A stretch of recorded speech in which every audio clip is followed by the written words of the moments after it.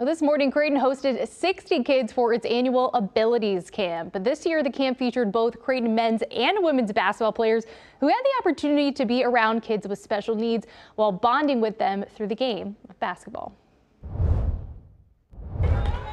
Just seeing the kids smile and have fun is a great part of it. On a Friday morning at Creighton's Championship Center, the sounds of bouncing basketballs, claps, and cheers echo throughout the gym. But it's not the Blue Jays practicing. They're there, but instead of working out, they're volunteering at the annual Abilities Camp. It kind of shows how Creighton is very tight knit and it's pretty cool that they put on things like these for these kids and so their families can come, you know, get pictures and videos of the kids with us and, you know, all of that's really cool. The camp, which celebrated its fifth year, is led by Creighton men's basketball assistant coach Steve Merfeld. I serve on the state of Nebraska uh, Special Olympics Board. Uh, when I was the head coach at Evansville, I had a Down syndrome young man that sat on the bench that I keep in touch with to this day. I have a cousin who is autistic that maybe is the biggest sports fan that I've ever been around.